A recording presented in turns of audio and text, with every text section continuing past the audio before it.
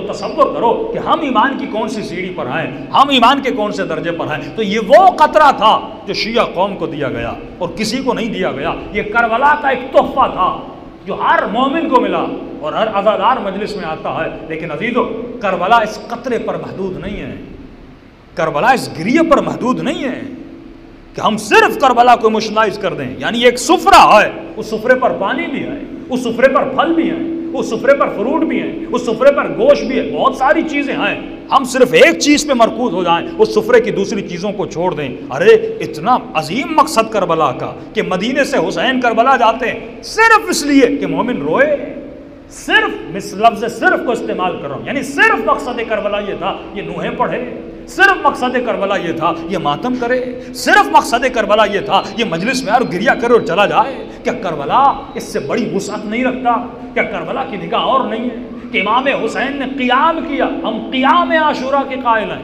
बहुत सारे ऐसे शिया उलमा हैं जो क़ियाम का इनकार करते हैं कि नहीं, हुसैन ने हालात में आकर करबला की तरफ़ हरकत की थी, लेकिन बड़े बड़े उलमा फरमाते, नहीं, ये क़ियाम आशूरा था। क़ियाम एक ऐसी रेवोल्यूशन थी, एक ऐसा इनकलाब था कि फरमाया, अगर इमाम हुसैन की लोग मदद करते तो इमाम को मुंजी आलम बनना था। इस दुनिया में जिसको इनकलाब बपा करना था, वो इमाम ज़माना थे।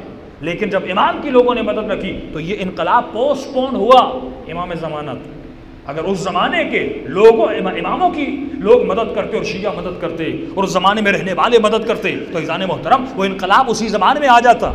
जिस जहूर की दुआ हम आज कर रहे हैं, वो जहूर उसी वक्त होना था, क्योंकि लोगों ने मदद नहीं की। जिस कौम को उम्मत बनना था, उम्मत बनाने के लिए मूसा ने हरकत की। कभी आपने सोचा वन थर्ड ऑफ़ कुरान बनी इसराइल के बारे में? मूसा का नाम मोहम्मद से ज़्यादा इस्तेमाल होता है। कुरान मुसलमानों के लिए, उतरा मुसलमानों के नबी पे। लेकिन इसने सोचा नहीं कि तीन गुना से ज़्यादा कुरान बनी इसराइल का ज़िक्र करता है। कौम आद, कौम समूद, कौम साले कुरान की दूसरी सूरत खोलो तो बकरा, ये भैंस किसकी बनी इसराइल की? आल इमरान कौन बनी इसराइल? यूसुफ कौन बनी इसराइल? ये सारे किस्से किसके? बनी इसराइल के।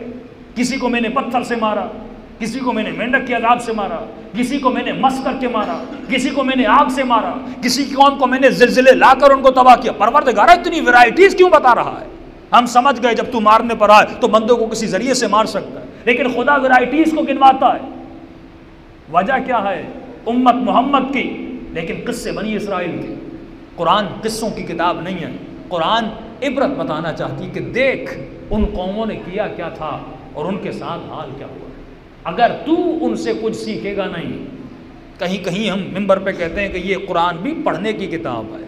जिस तरह अखबार पढ़ते हो ना रोज़ाना, किताब बुक उठा लेते हो, कोई स्टोरी की बुक तो कुरान भी पढ़ने की किताब है, रखने की किताब नहीं है। इस किताब से कुछ समझा करो। कि मुख्तलिफ़ लोग आयतुल्लाज़मा काजी के पास जाते थे कि मौलाना, हमें कोई अमल बताइए, हम आरिफ बिल्ला बनना चाहते हैं, हम भी बरसकी आग चाहते हैं, हम भी तय्युल्लर चाहते हैं, हम भी मलाइकों को देखना चाहते हैं कि रसूल खुदा फरमाते हैं, अगर मेरी उम्मत के दिलों पे पर्दे न होते और शैतान इनके दिलों पे पर्दे न चढ़ाता और अगर ये कोशिश करके इन पर्दों को हटा दें तो ये ज़मीन व आसमान के फरिश्तों को देखें।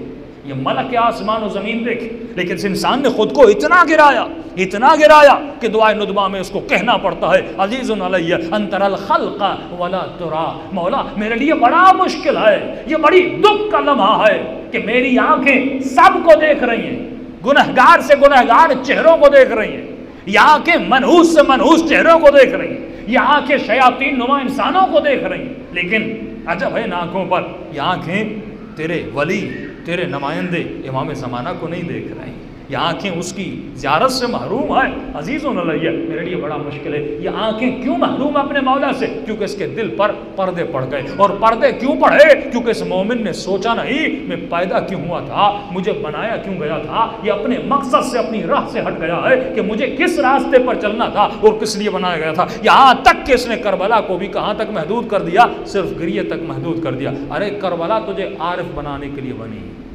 करबला इमाम ज़माना के मुलाकात के लिए बनी। करबला तुम्हारे वजूद में इसार की सिफत बनाने के लिए बनी। मैं हमेशा कहता हूँ कि दो सोसाइटीज़ थी। एक यजीद की सोसाइटी थी, एक हुसैन अपने अली की सोसाइटी थी। करबला एक सिविलाइजेशन का नाम था। करबला एक तहजीब का नाम था। करबला एक क़ियाम का नाम था। यानी करबला के बाद से इमामों ने इंसान साजी करना शुरू की नबी ने लोगों को मुसलमान बनाया।